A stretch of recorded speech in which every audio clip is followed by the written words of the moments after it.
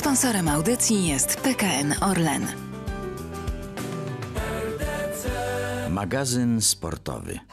Arkadiusz Błaszczyk, dzień dobry. Słuchacie Państwo radia dla Ciebie. Na magazyn sportowy, jak co piątek, zapraszam wspólnie z naszym stałym ekspertem, mistrzem Polski z Legią Warszawa, Tomaszem Sokołowskim. Cześć Tomku. Witam Cię, Jarku. Dzień dobry Państwu. Nasza audycja dziś tenisowo-piłkarska. Tydzień temu Wisła Płock. Dziś przyjrzymy się przygotowaniu Legii do nowego sezonu, który rozpocznie się już za dwa tygodnie. Naszymi gośćmi będą Sylwester Czereszewski oraz Piotr Kamieniecki, e, dziennikarz TVP Sport, świeżo po powrocie z obozu Legii w Austrii. To w drugiej części e, po 9.30, bo dziś zaczynamy od Wimbledonu, e, w którym wczoraj do trzeciej rundy awansowały dwie Polki. Iga Świątek i Magdalena Frech a porozmawiamy o tym z naszym pierwszym gościem. Yy, pierwszym gościem przy telefonie jest już nasz były znakomity tenisista, finalista turniejów wielkoszlemowych Marcin Matkowski. Dzień dobry, panie Marcinie, kłaniamy się. Witamy serdecznie. Witam Państwa, witam Państwa. Zacznijmy od naszej yy, pierwszej rakiety, yy, czyli Igi Świątek, wygrana w trzech setach z Holenderką Leslie Kerkhove. No, no właśnie, w trzech setach, panie Marcinie, po trudnym meczu spodziewał się pan łatwiejszej przeprawy jednak? To znaczy, patrząc na ostatnie wyniki i na pewno każdy się spodziewał, że będzie łatwiejsza to przeprawa. Natomiast e, takie mecze sprawi cięższe, wygrane są bardzo dobre. Dla zawodnika utwierdzają, że nawet jeżeli coś nie idzie, to potrafisz wygrać. I najważniejsze jest wygrana, więc Iga nie, nie przyjechała tutaj, żeby wygrać drugą, trzecią rundę, tylko po zwycięstwie w całym turnieju. Więc najważniejsze, że wygrała i może się koncentrować na następnym meczu. Mhm. Jej wczorajsza rywalka nigdy nie była w pierwszej setce rankingu. Iga oczywiście jest liderką. Y, dlaczego tej różnicy aż tak bardzo nie było widać wczoraj na korcie? Czy to słabszy dzień Igi, czy, czy może to rywalka zagrała na y, najwyższym poziomie swoim? Na pewno rywalka grała na dobrym poziomie. Iga zagrała słabiej niż na, na przyzwyczajenia do tego w ostatnich miesiącach. Natomiast e, też e, Iga, trzeba przypomnieć, że był dopiero drugi mecz na trawie w tym roku, więc e, przerwa, która wzięła Roland Garros, czasami będzie miała takie cięższe momenty na kortach Wimbledonu. I widzieliśmy, że trawa jest taką nawierzchnią zawsze, że spłaszcza ten poziom między zawodniczkami lepszymi i gorszymi. I no, wczoraj to było widać, że zawodniczka spoza setki postawiła ciężkie warunki dla Igi. Ale tak jak mówię, najważniejsze na końcu jest zwycięstwo. Czy jest, y, Marcinie, czy jest coś w tym, że ktoś się lepiej czuje na trawie albo na innej nawierzchni? Jest coś w tym? Y, nawet y, ten krótki czas przed Wimbledonem na to, żeby się zapoznać czy zagrać w turnieju, tak jak Iga wspomniałeś, że dała sobie czas na treningi, a nie na rozegranie, nie granie w turnieju. Aczkolwiek patrzymy na to, jak Iga na przykład radziła w Wimbledonie jako juniorka, gdzie wygrała, czyli nie powinna mieć problemu. Znaczy, no wiadomo, Iga wygrała jako juniorka na Wimbledonie, ale jeżeli patrzymy na jej seniorską karierę i wyniki, które osiągnęła na nawierzchniach, to trawa jest to nawierzchnią, gdzie ma najsłabsze wyniki. Na wszystkich innych y, nawierzchniach wygrała już turnieje zawodowe, na trawie jeszcze się nie udało.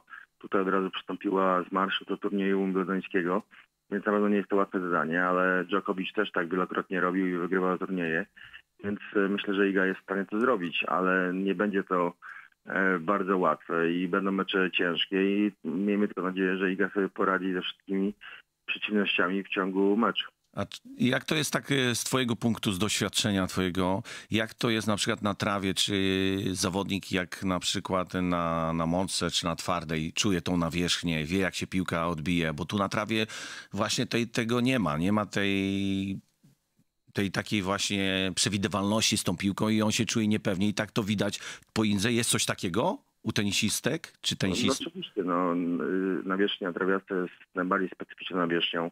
Poruszanie jest zupełnie inne. Musisz ruszać się delikatnie na korcie, nie możesz stawać mocno nogą, e, żeby się nie pośliznąć. E, druga rzecz, że na trawie dużo ciężej dyktować warunki forehandem. Nie możesz się przestawiać i grać forehandem prawie na całym korcie, ponieważ piłka jest za szybka i trochę musi zmienić swoje podejście do gry. No ale no mówię, no Iga jest na pewno w stanie to zrobić. Rafael Nadal też y, wielokrotnie, dwukrotnie wygrał Wimbledona, jest typowym zawodnikiem na wolniejsze korty, więc y, no tak jest. Czasami są słabsze mecze. Najważniejsze, że jest wygrana i już możemy o tym zapomnieć i skoncentrować się i tak jak ja na następnej rundzie. To ja jeszcze dopytam właśnie o te, te te nawierzchnie, bo często się mówi właśnie przed kolejnymi turniejami Wielkiego Szlema, jakie są te różnice. No, laicy y, często nie wiedzą, jak bardzo duży jest to, jest to przeskok. Inna sprawa też, że sporo mówiło się przed, y, przed Wimbledonem o tym, że Strenowanie w Polsce też na, na trawiastych kortach nie jest najlepiej, no bo tych kortów jest jak chyba na lekarstwo. Jak to wygląda dziś? To znaczy jest, jest kilka kortów powstało, no ale my całą karierę, tak jak Agnieszka Radwańska, Łukasz Kubot i Jurek Janowicz, czy ja albo Mariusz, nigdy się nie przejęliśmy w Polsce na kortach trawiastych. Dopiero w Anglii czy mm. w Niemczech na jakichś turniejach tam trenowaliśmy. E, cały świat e, nie trenuje na kortach trawiastych, ponieważ przygotowujesz się tylko przed startami, startami na Wimbledonie. E, dlatego to jest taka namieszka, że każdy ma może nie tyle takie same szanse, bo są lepsi i gorzej się czują w tych kortach, natomiast spłaszcza to poziom. No wystarczy zobaczyć teraz no, y, Serena Williams, y, wielka mistrzyni, oczywiście nie grająca po roku, nie wygrała swojego pierwszego pojedynku z notowaną zawodniczką Francji. Y, pokazuje to, że na trawie naprawdę mogą być duże niespodzianki i najważniejsze, że i udało się uniknąć porażki. I czy, jak myślisz teraz przed kolejnym spotkaniem Igi, czy tutaj coś i trener Wiktorowski, czy sztab coś zmienią w grze Igi? Czy raczej będą no, trzymali się tego, co wypracowali do tej pory?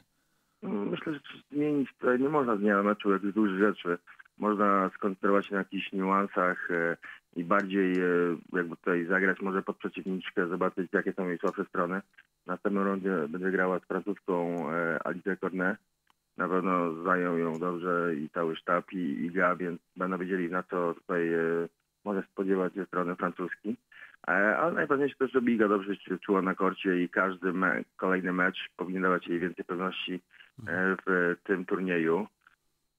No i tak się powinno chyba skupić na własnych e, tutaj mocy, własnych siłach, własnych zagraniach niż na, przeciwnicy. Tak, tylko wiesz, to moje pytanie było troszeczkę takie prowokujące w sensie tym, że na przykład jak oglądałem Agnieszkę Radwańską, wiadomo, że jej nie było mocną stroną to siła, ona dużo, dużo slajsów, dużo skrótów, u, a właśnie Iga jest troszeczkę przeci, przeciwieństwem Agnieszki i tu, czy na takiej nawierzchni, jak widzimy, jak ta piłka siada po takim skrócie czy slajsie i po prostu oglądając na przykład y, Serenę, jaki miała problemy z dojściem do piłki i później praktycznie już nic nie mogła zrobić, czy tutaj troszeczkę takiej różnorodności czy jednak się trzymamy tego, że no właśnie, ta siła jednak Igi jest właśnie tym elementem dominującym?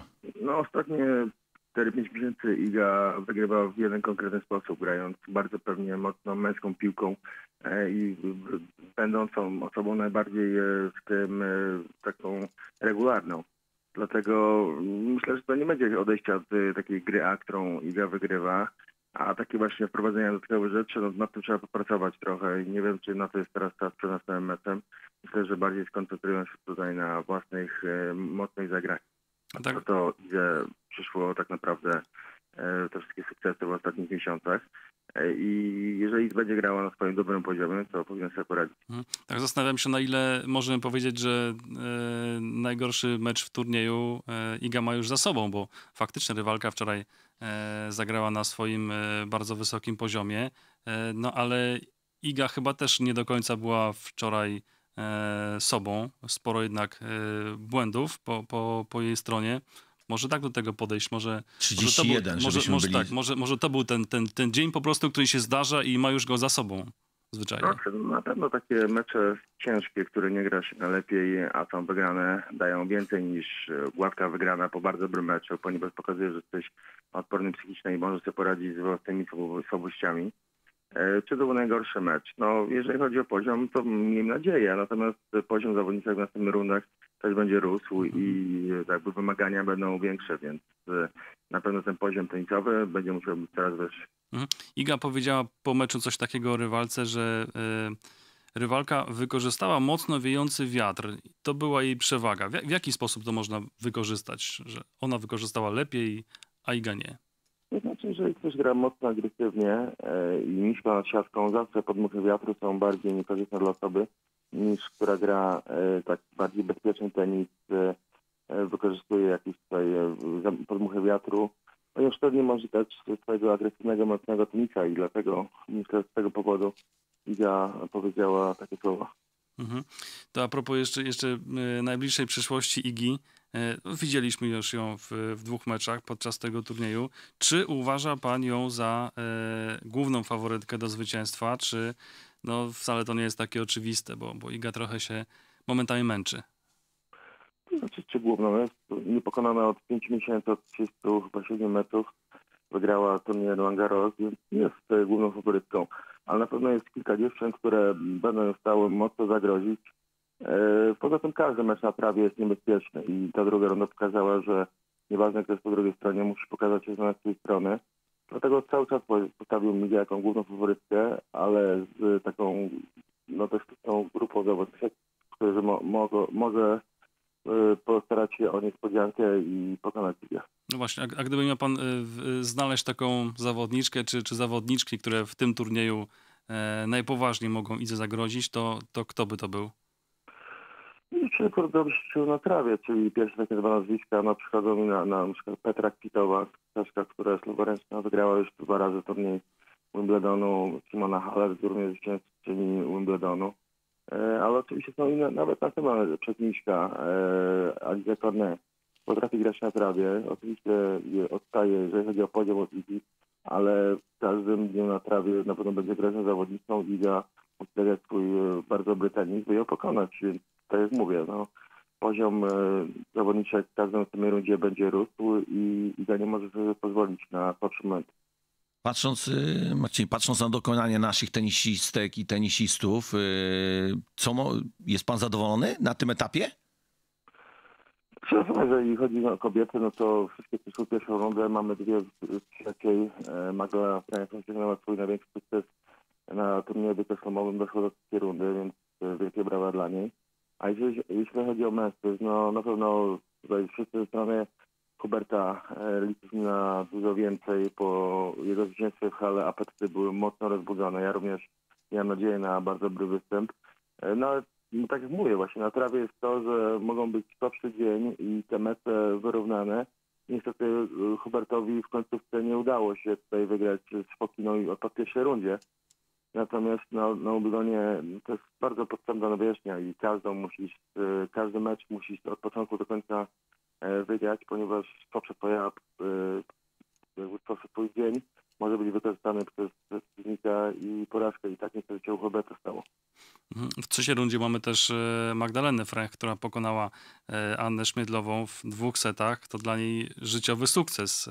Jak pan ocenia jej dotychczasowe mecze? No i na co jeszcze stać w tym, w tym turnieju? Teraz przyjdzie jej się mierzyć z Simoną Halep, czyli poprzeczka idzie mocno, mocno w górę. Tak, e, no tak jak mówiłem, to jest dla Magdaleny Frey największy sukces w turnieju wielkoszlomowym, trzecia runda, więc e, wielkie brawa dla niej. E, oczywiście teraz będzie grała w hale, więc ten poziom pójdzie mocno w górę. Faworytką będzie zdecydowaną Rumunka. Natomiast Magda nie ma nic do stracenia. Gra w tym turnieju bardzo dobrze, również w deblu. Razem z partnerką z Brazylii pokonały szóstą parę rozstawioną, więc widać, że Magda w Londynie czuje się bardzo dobrze. Yy, może mieć nadzieję tylko, że ten turniej, że mecz Magdy będzie jeden na największych kortów, może jedynka, może dwójka. E, to byłoby wielka sprawa dla Magdy zagrać na jednym z głównych kortów Wimbledonu. E, I oczywiście nie faworytką, ale nic straconego, więc może zagrać na luzie i czemu nie, może sprawdzić kolejną niespodziankę. Mhm. A jakbyś tutaj mógł powiedzieć nadal Diokowicz? Jakbyś tu widział? Czy jednak Diokowicz tu jest jednak no, królem tego? To znaczy, no Zakowicz jest jak najbardziej głównym faworytem. Wygrał ten turniej siedmiokrotnie, e, sześciokrotnie w, te, w tym roku wygrać siódmy raz, więc e, dla niego e, jest to no, wielkie e, osiągnięcie. Taki przyjechał bez przygotowania, a wie co ma zrobić, żeby wygrać. Natomiast e, e, będzie miał kilku przeciwników do pokonania, ponieważ oprócz Rafaela, z którym może zagrać w finale, to była wielka sprawa dla całego tenisa. Jest jeszcze paru zawodników, którzy no, mogą mu pokrzyżować szyki. E, natomiast wczoraj widziałem e, mecz Rafała Nadala z e, Litwinem Berankisem. No i bardzo dobrze wygrał Rafael. Tak naprawdę widać, że po tych problemach z stopą chyba już na, na razie to, może tyle nie ma śladu, ale już zapomniał o nich. Odeszło to w, w niepamięć i cieszy się grą, a Rafael Nadal dla tenisa jest bardzo podobno samo jak Roger Federer albo Serena Williams, więc y, bardzo dobrze widzieć y, tych wielkich mistrzów grających daleko w turniejach. A jakbyś tutaj jeszcze cię spytał o twoją tutaj no, dziedzinę, czyli ten debel nasz jeszcze, który jest tutaj, męski. Mhm. Czy tutaj mogą coś, dużą niespodziankę zrobić? To znaczy tak, no w drugiej lidze mamy jeden debel, Łukasz Kubot oczywiście mistrz reklamowy z Wimbledonu z 2017 roku składu z Szymonem Walkowem. Wygrali pierwszy mecz dość pewnie, a grali z bardzo dobrą parą przeciwko Feliciano Lopez e, Christie, Amerykanin, który w pierwszym rundzie w singlu ograł, Kanadyjczyka Ożer Alitime, więc jest to bardzo dobry wynik. W drugiej rundzie będą grali z parą e, chorwacko-amerykańską Dodik Krajczek. E, będzie to taki typowy debel. E, zawodnicy są bardzo doświadczeni i dobrze grający. E, finaliści Roland Garros tego roku. Więc na pewno ta poprzeczka pójdzie w górę, ale no, z Łukaszem na korcie jako taką osobą, która wie, był numerem na świecie, naprawdę są w stanie osiągnąć e, duże wyniki i Mhm. wygrać ten mecz. Mamy oprócz tego jeszcze drugi debel. E, Janek Zieliński z Kamilem Majszakiem. E, dzisiaj będą dokończali swój pierwszą, pierwszy mecz. Na razie przegrywają e, w pierwszym secie 7-5, 0-2, a mam nadzieję, że uda się odwrócić ten wynik. Natomiast e, bardziej liczę też na Szymona i na, Kubot, na Łukasza Kubota, którzy są takimi e, deblistami z krwi i kości i mam nadzieję, że będą grali dalej. Marcin Matkowski e, był gościem radia dla Ciebie. Panie Marcinie, dziękuję pięknie za rozmowę. Kłaniamy się. Dobrego dnia. Dziękuję. Do widzenia, dziękuję. No, swoją drogą Tomek też jako, jako, jako zapalony e, tenisista. E, Iga Świątek oczywiście jest naszą mega gwiazdą, e, eksportową tenisistką, ale spójrzmy na to, że mieliśmy w turnieju singla siedmioro, siedmioro Polaków. Teraz w Warszawie pod koniec lipca mamy turniej WTA. O biletach to już można, można pomarzyć. Jeszcze, jeszcze jest turniej, czy tam mecze pokazowe w Tak, Krakowie. w Krakowie będzie też y, w lipcu bodaj turniej IGA i przyjaciele dla, dla Ukrainy, gdzie będzie też Agnieszka Radwańska, gdzie będą e, znakomite postaci. Można powiedzieć, że no boom, jakiego w historii nie było e, w naszym kraju, jeśli chodzi o tenis. No na pewno, na pewno. No to dobre wyniki właśnie Igi i tutaj koleżanek, czy tutaj panów, no to i Huberta, tak, no to napawają optymizmem i ciągną, i ciągną pozostałych, ciągną tą właśnie tą dyscyplinę do przodu. Patrząc jeszcze, tak wracając troszeczkę do Igi, ona się troszeczkę rozkręca. Jak pamiętaj, przy, przypomnijmy sobie Roland Garros, to też to nie były takie mecze, jed, wiesz, że ona demolowała przeciwniczki, to ona się rozkręcała i miejmy nadzieję, że ten turniej, ten właśnie, gdzie ona się nie czuje, nie czujesz pewnie tej nawierzchni, tak, i grasz troszeczkę zachowawczo, nie masz e, troszeczkę niepewnie, no to tak to wygląda, mi się wydaje, że z meczu na mecz będzie coraz lepiej, ale jak to się mówi, idziesz wyżej, to też i przeciwniczki są trudniejszego, trudniejsze do pokonania, które też są tutaj no, wy, wyeliminować jedynkę i i to jest dla niej też dobra lekcja, taka doś, doświadczenie, które zdobywa na takich meczach, żeby właśnie e, przeciwności pokonywać, stara, starać się znaleźć odpowiednią drogę do, do tego, żeby odnieść sukces. Powoli będziemy zmieniać temat. a Ten wspomniany turniej WTA na kortach Legii y, się odbędzie.